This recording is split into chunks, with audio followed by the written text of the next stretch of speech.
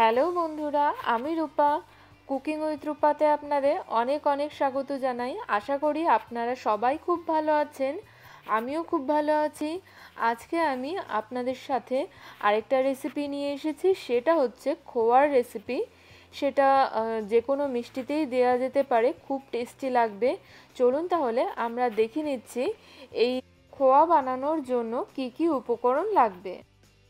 আমাদের লাগছে দুধ দুধ আমি নিয়েছি মোটামুটি আড়াইশো লিটারের থেকে একটু কম পরিমাণ। আমি গ্যাসে বসিয়ে রেখেছিলাম মোটামুটি পনেরো বিশ মিনিট ধরে। আর দুধটাকে একটু ঘন করে নিয়েছি আর ফ্রিজে রেখেছিলাম বলে এরকমভাবে জমে গেছে। দুধ পাউডার লাগছে আমাদের, এক বাটি। ছোট বাটি দিয়ে আমি এক বাটি দুধ পাউডার নিয়েছি। আর নিয়েছি দুটো ছোট বাটারের টুকরো। এই তিনটি উপকরণ দিয়ে আমাদের একদম বাজারের মতন খোয়া তৈরি হয়ে যাবে। চলুন তাহলে আমরা দেখে নিচ্ছি এই খোয়াটা কীভাবে তৈরি হবে। প্রথমেই আমরা কড়াইটা গরম করে এর মধ্যে দিয়ে দিচ্ছি বাটারটা। বাটারটা গলে গেলেই এর মধ্যে আমরা দুধটা দিয়ে দেবো।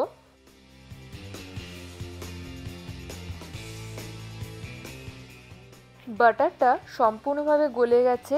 এর মধ্যে আমরা এবার দুধটা দিয়ে দিচ্ছি। দুধটা কিন্তু ফ্রিজে রাখার জন্যই জমে গেছে।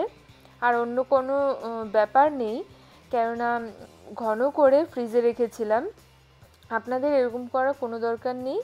আপনারা সাধারণত ঘন করেই ইউজ করতে পারেন খোয়ার জন্য। এবার আমি একটু নাড়িয়ে নিচ্ছি। তারপর আমরা দুধ পাউডারটা দিয়ে দেবো এর মধ্যে।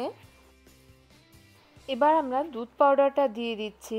দুধ পাউডার দিয়ে ভালো করে এর সাথে মেশাতে হবে যাতে দানা দানা না বেঁধে যায়। দেখতে হবে আমাদেরকে। মাঝে মাঝেই নাড়িয়ে যেতে হবে, তাহলে কিন্তু লেগে ধরবে এটা। আমাদের সব কিছু উপকরণ মেশানো হয়ে গেল।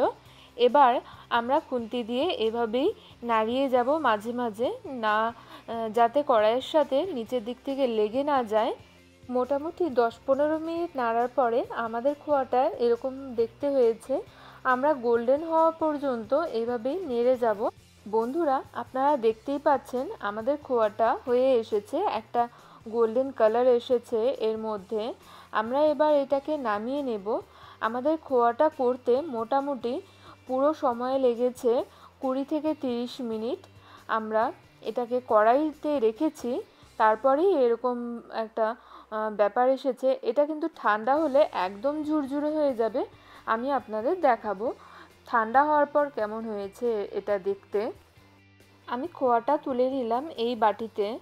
ঠান্ডা হওয়ার পরে দেখতেই পাচ্ছেন বন্ধুরা, আমাদের খোয়াটা কেমন ঝুরঝুরে হয়েছে, কেমন সুন্দর হয়েছে। যদি আমার এই ভিডিওটা ভালো লাগে, তাহলে কিন্তু একদম লাইক সাবস্ক্রাইব শেয়ার কমেন্ট করতে একদম ভুলবেন না। আমার চ্যানেলটা অবশ্যই সাবস্ক্রাইব করে নিন যদি না এখনও পর্যন্ত না করে থাকেন। আর নিজের বন্ধুদের সাথে আমার ভিডিওটি অবশ্যই শেয়ার করুন।